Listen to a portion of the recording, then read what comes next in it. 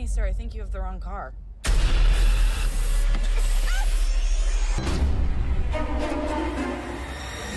There's a flower on the pillows, a flower in the bathroom.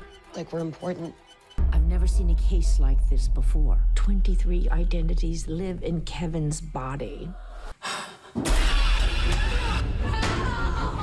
There's a man here. He abducted us and he's going to kill me.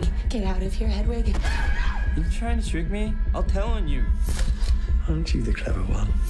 Something horrible. The world will understand now. Who are you? My name's Hedwig. How old are you? Nine?